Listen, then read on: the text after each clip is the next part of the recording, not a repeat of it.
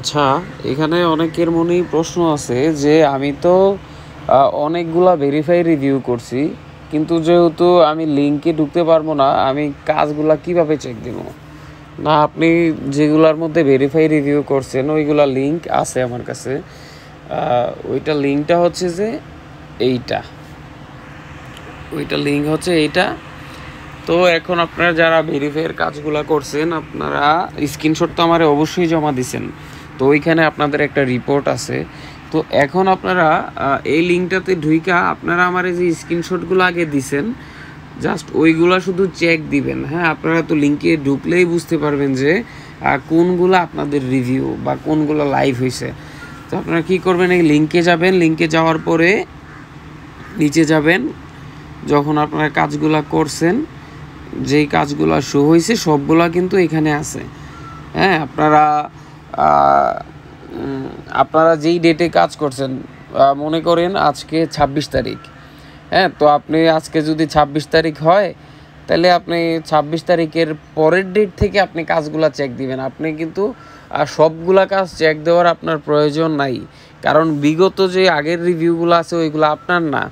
হ্যাঁ আপনি যদি ছাব্বিশ তারিখে যদি কাজ করেন, এগুলা শো হইতে হইতে ধরেন সাতাশ, আঠাশ তারিখ হয়। তো ওয়েল আপনি ছাব্বিশ তারিখ থেকেই আপনি কাজ চেক দেওয়া শুরু করবেন, এর পরের থেকে। তাইলে আপনার আর এত কষ্ট করা লাগবে না। তো এই লিঙ্কে যাবেন, আপনাদের যে রিভিউগুলা শো হইবে ওইগুলারে আপনি পটপট করে স্ক্রিনশট নিয়ে নেবেন। স্ক্রিনশট নিয়ে আবার আমারে জমা দিয়ে দেবেন। তখন আমি কাজের প্রুফ হিসাবে বুঝতে পারব আপনি বিগত সময়ে যে স্ক্রিনশটগুলো আমারে দিছেন বা এখন প্রুফ হিসাবে যেগুলো জমা দিছেন, আমি আগেরগুলা চেক দিব, এখনেরগুলা চেক দিয়ে দেখব যে না, ঠিক আছে আপনাদের কাজ। তো এইভাবেই আপনারা কাজগুলো চেক দিবেন। আর গ্রুপের গ্রুপের কাজগুলোও ঠিক একই রকমভাবে আপনারা চেক দিবেন। তো আমি গ্রুপের একটা লিংক আমি এখানে শেয়ার করতেছি।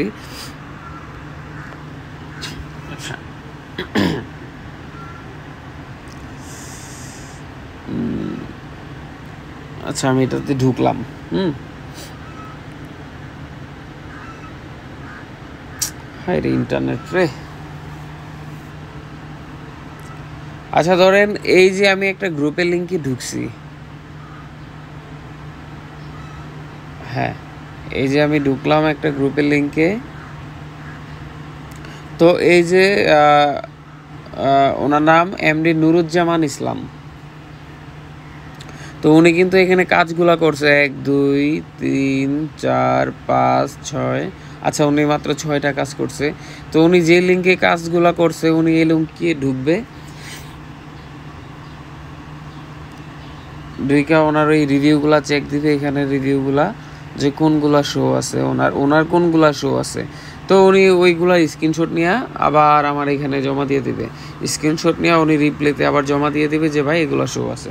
তখন আমি আগের স্ক্রিনশট আর নতুন স্ক্রিনশট এগুলা আমি দুটোটা জাস্টিফাই করে আমি দেখব যে আসলে এইগুলা এপ্রোপ্রিয়েট কিনা, ঠিক আছে কিনা।